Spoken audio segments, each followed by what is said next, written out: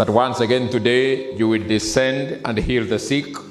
Once again today you will empower those who need your presence. Help us to understand you even better. In Jesus' mighty name we have prayed.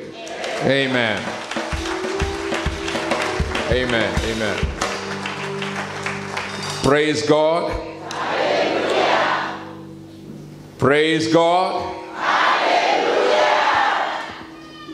I request everyone to be silent except those who are happy. If you are happy, shout hallelujah.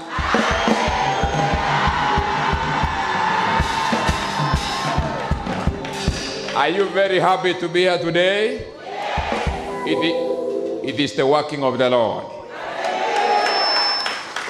It is by His power that we are here to worship Him. And I want you to see yourself as one that God has ordained for that purpose. You have to speak to your heart that I am not going to leave this place until God gets what He wants from me.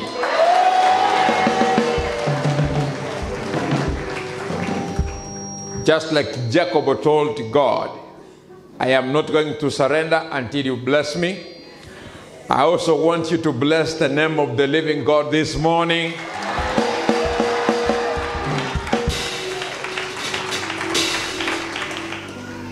He designed it in a way that through you he may get what he wants.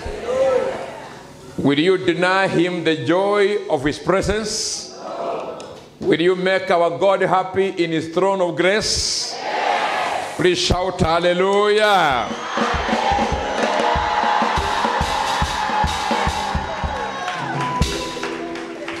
You know, in the presence of God, there are those who make him sad, and there are those who make him happy.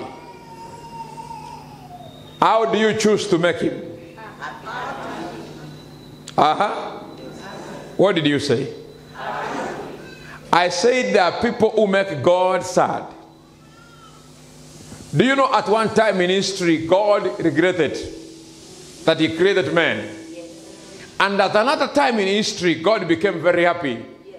And He said, This is my beloved Son, with whom I'm well pleased. A man can make God to regret, and another man can make God happy. I pray that you choose to be that that makes God very happy.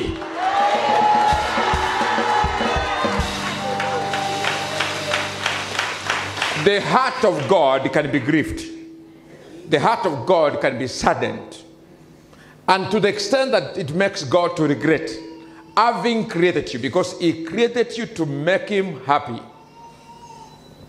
Make it a decision in yourself that you make God happy. Not just today, but all the days of your life.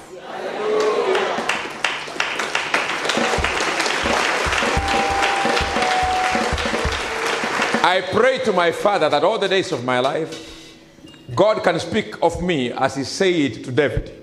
This is the man after my own heart.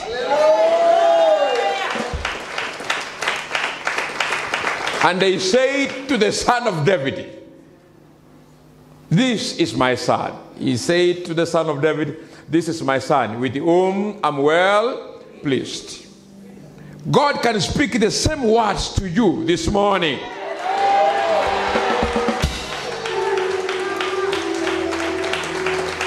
Because God is not a respecter of persons. If you do what those who pleased him did, he will still be pleased with you. May your faith bring joy to God today in Jesus' name. Hallelujah. May I request you to sit in the presence of God.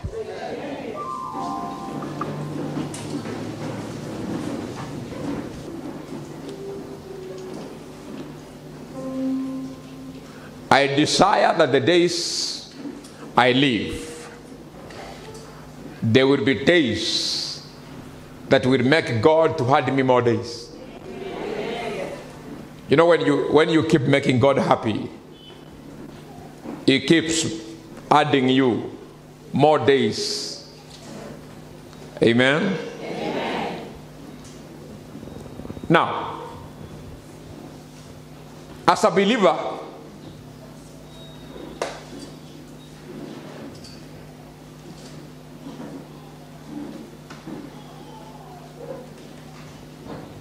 you must learn to acknowledge God's name. Now, our topic this morning is the advantage of acknowledging God's name. Faida ya kutambua jina la Mungu. The advantage of acknowledging God's name.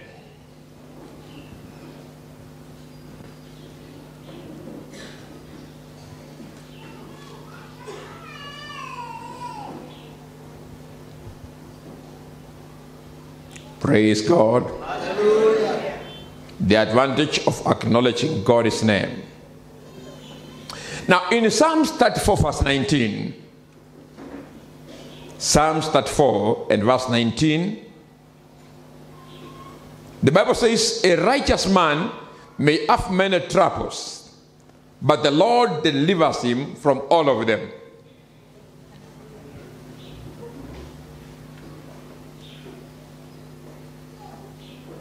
Verse 17 of the same chapter 34 the righteous cry out and the lord hears them. It delivers them from all their troubles. If you are facing any trouble this morning turn and become righteous. Then cry to god. He will deliver you from all of them one the reasons why God never delivers people is because they are not the way they are supposed to be. God does not deliver people, He delivers the righteous. When people cry, God is not touched.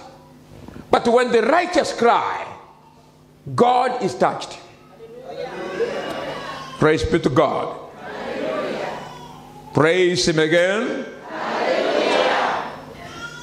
It delivers them from all their troubles.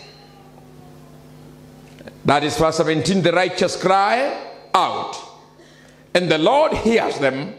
It delivers them from all their troubles.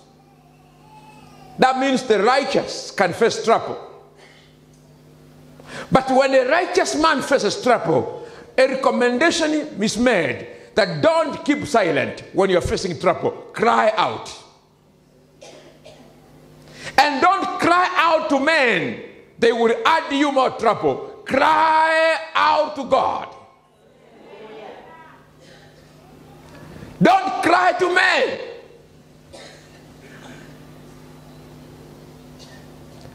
Most men are the channel and the source of trouble. And when you cry to them, they top up the trouble. Every righteous man, the Bible says they can face many troubles. In verse 19, Psalms 34. But what should a righteous man do when he faces trouble? Let him not be silent. Say, I will not be quiet. Not be quiet. Say it again. Say like you mean it. Now shout it. Say, I will become a Bartimaeus of this time. I will cry to the son of David. And I will say, Have mercy on me. May the Lord shower you with mercies from above. The righteous cry out, and the Lord hears them. That means when a righteous man does not cry, God does not hear. For God to hear you, you must cry.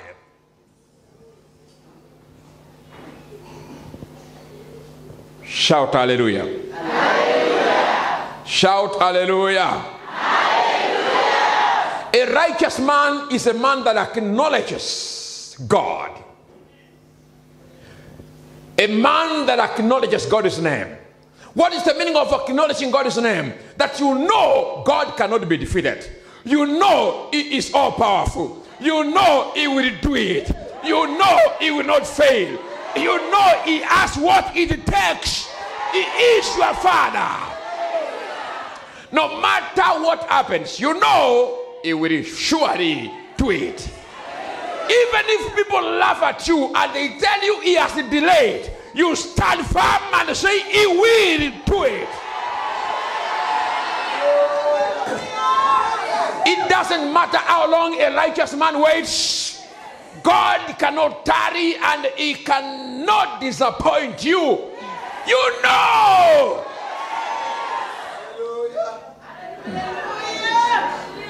Something might be going on in your life right now. You are, you are, you are looking at, at the future and you are seeing calamity. Let me tell you, your father is alive.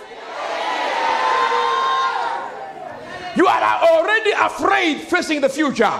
Move to the future. You are redeemer, live it.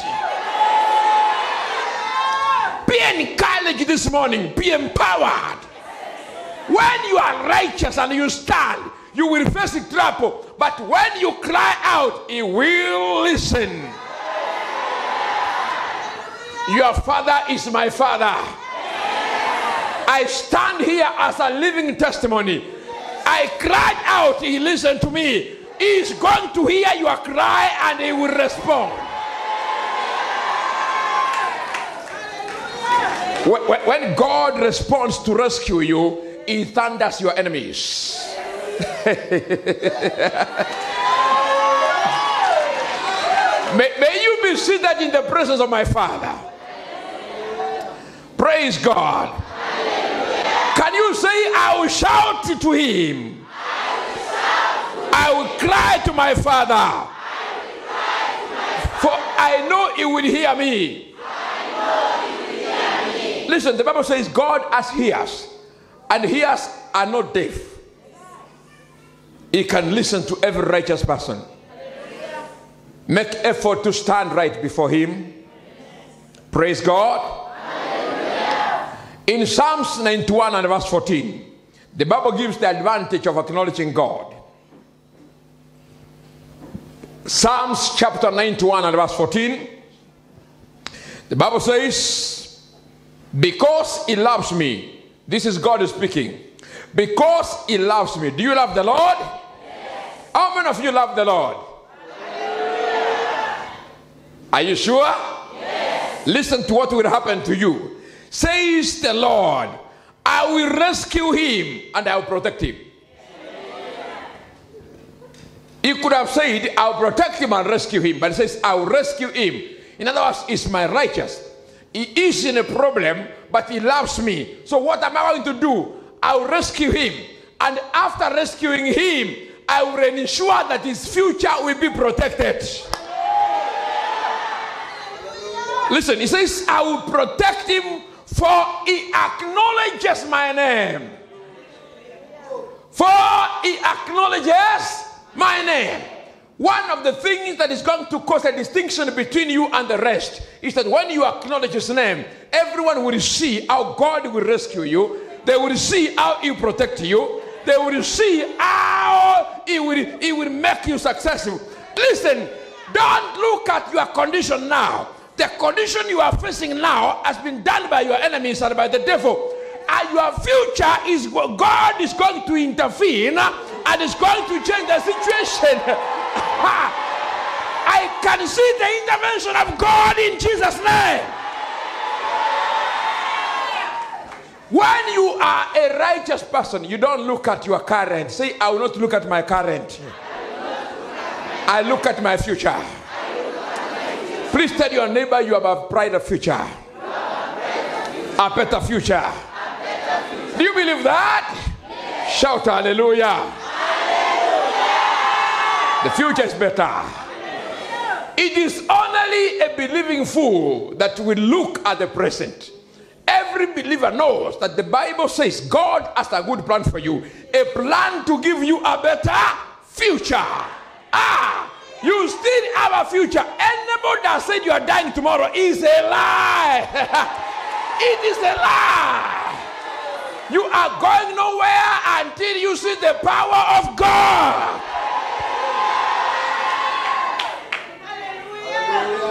In Psalms 22, verse 22, listen to me now. The Bible says, I will declare of your name before the congregation. I will speak of your greatness before my brothers. I can see you coming here again with a powerful testimony. After the devil has stepped on you, he has stepped on your children. You pray for them. You see they are changing. The next thing they are not changing. A time is coming when you will give a testimony that is everlasting. And it is not going to be far. Time God makes a promise, He says, I am not going to tarry, I will do it soon. Everyone standing here this morning, you shall you will not die before you see the manifestation of God. Some of the things that are happening to your life and in your family, it is the devil wanting you to commit suicide. It's the devil wanting you to give up. But I've come to tell you, don't give up. God is going to give in. Don't give up. Look at your pastor. A lot has happened, but I have not given up because God is in me. God is in me.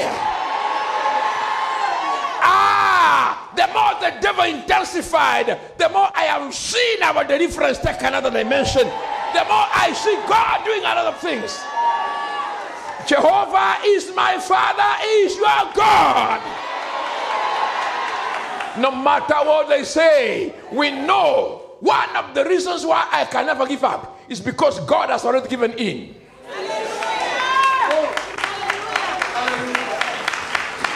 Who am I to give up in the presence of God?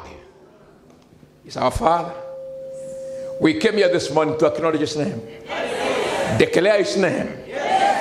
Even the limited that you're able to see, speak about it. He is our great God. Please lift up your hands and tell Him, Father, I'll never give up. Just as you pray that prayer, the Spirit will come and comfort you. Just say, Father, I will not give up. I know your presence is plenty. Your power is around. You are available for me. Jesus, I will not give up. I will not give up. I refuse this morning to give up. Ninakataa kufa moyo. My Father and my God, thank you for your mercies are new every morning. Have mercy on us. Let us receive your favor. Let us be encouraged because of your presence. We are sure you will surely deliver us. We bless your children. In Jesus' name I pray. Amen.